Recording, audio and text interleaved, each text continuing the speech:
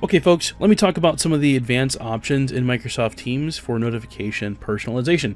So, the first thing I want to focus on is under the Teams and Channel section in the notification section, you can go ahead and uh, click on Custom, and this will bring up a page where you'll be able to see and change uh, different options on how notifications show up. And you can change them to be either banner and feed or only showing in the feed. And what do I mean by that? So a banner notification is the indigo pop-up that you see, uh, typically in the bottom right corner of your screen when you get a notification. That's a banner notification. A feed notification are the numbers that you see.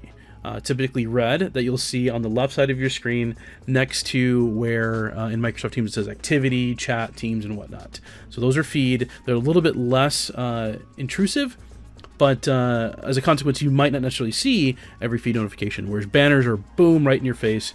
Uh, so you can go ahead and customize that. So for example, uh, maybe I don't want to see every single uh, immediate team mention. I can show that as only in my feed uh, and keep banner and feed for when people mention me directly. Uh, and then maybe I can turn off likes and reactions completely off, right? I don't need to know when people like things. Now, beyond that, you'll see the shown and pinned channel section where you can quickly customize specifics for those shown and pinned channels. What do I mean by that? So, if you go to the left side of the screen here where it says uh, pinned under teams here, that is because I went into my X2050 launch team team and I right clicked where it says design and then I clicked on pin. Right now it says unpin because I already pinned it, but that makes sure that it's always at the top of my screen because I want to make sure that I'm looped in and I have quick access to the design channel.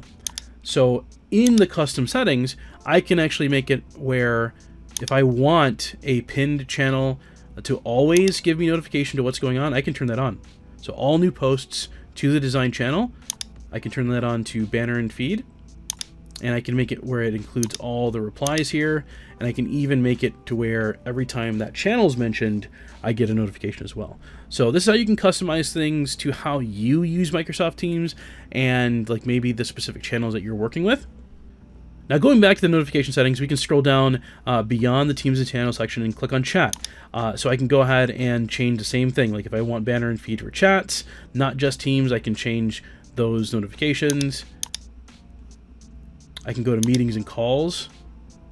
So let's say I don't want any notifications during a meeting and call, I can turn that on.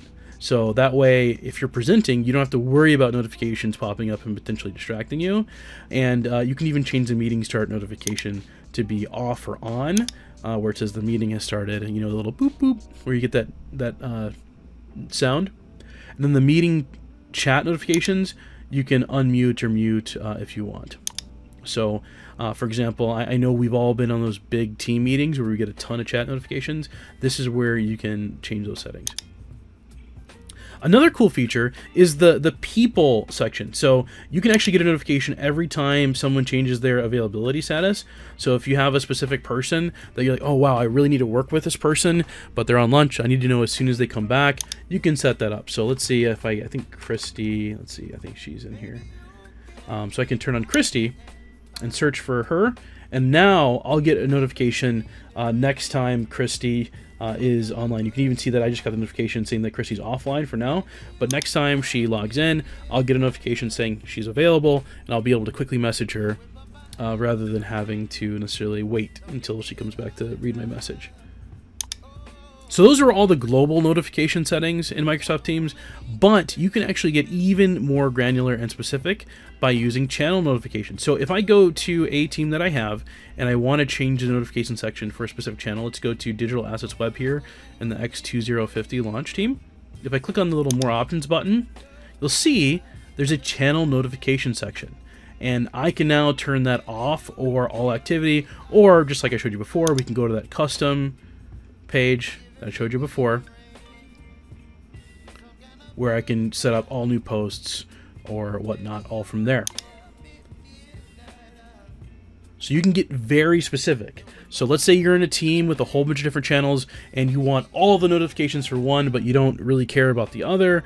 Uh, or if you are in like seven different teams, you don't want any notifications from any of them because you're just overloaded, you can get very specific to how you set up your notifications.